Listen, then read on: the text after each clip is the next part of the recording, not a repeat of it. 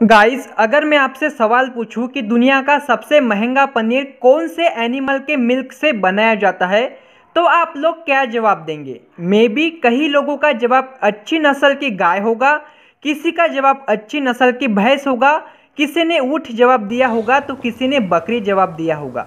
लेकिन मैं आपकी जानकारी के लिए बता देना चाहता हूँ कि इनमें से वह कोई भी एनिमल नहीं है। एक्चुअली दुनिया का सबसे महँगा पनीर डोंकी के दूध से बनाया जाता है।